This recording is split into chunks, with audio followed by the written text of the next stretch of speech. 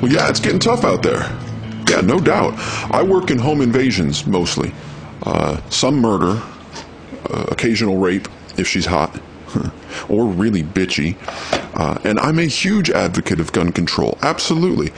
Uh, competition is stiff, and it, it doesn't help that every time I kick in a door or smash a window, that I face the possibility of being shot and killed.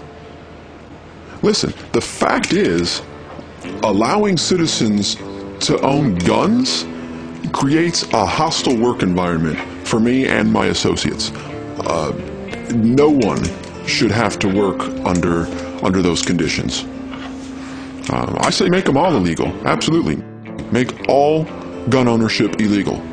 I mean, I break the law for a living. I'm a professional, so it doesn't really bother me.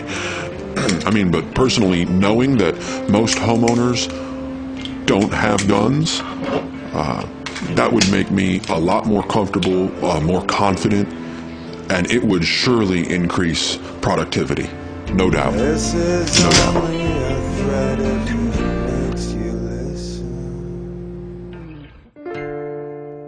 Your local violent criminals work hard and put their lives on the line every time they attempt to murder, rape, abduct, or assault a member of the citizenry. They desperately need your help.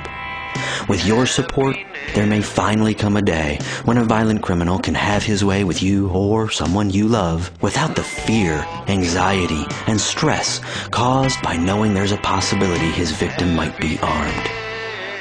Please show your support by voting for stronger anti-gun legislation because criminals prefer unarmed citizens.